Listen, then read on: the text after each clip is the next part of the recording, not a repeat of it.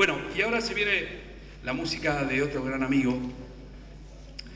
Eh, no sé si muchos de ustedes saben acerca de mi amistad con él, pero, pero bueno, se los cuento porque tuve la posibilidad de, de encontrarme con él hace unos años, cuando vino por primera vez al país a tocar, y pude expresarle toda mi admiración, contarle que su música y la música de su grupo había influenciado muchísimo en mi vida y seguramente en la de todos ustedes, porque ¿quién no creció con la música de los Beatles? Bueno, lo tenía a Paul ahí y le conté todo esto y le dije acerca de, de, bueno, de todo lo que yo había aprendido a tocar la guitarra gracias a su música. Me pasaba horas y horas poniendo el disco en el Winco y escuchando y escuchando hasta poder sacar los temas de los Beatles.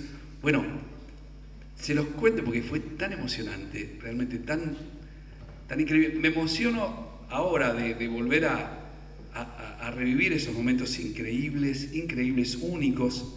Eh, claro,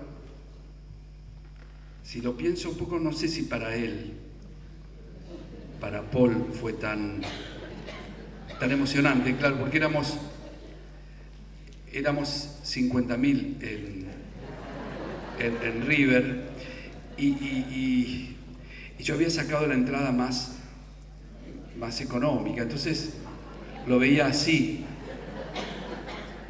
Pero hubo un momento, entre un tema y otro, un silencio.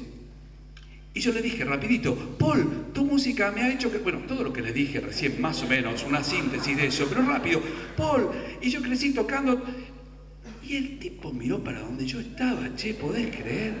Hizo así, de donde dedujo que el tipo además habla muy bien el español, porque yo soy origen español y rápido, o sea que el tipo es un monstruo para hablar el español. Bueno, volví a ir ahora a La Plata cuando estuvo, también saqué la entrada más barata. Eh, pero el tipo toda la noche estuvo buscándome. Miraba así, para arriba, y yo le decía, acá, Paul, acá. Estaba con una de mis hijas.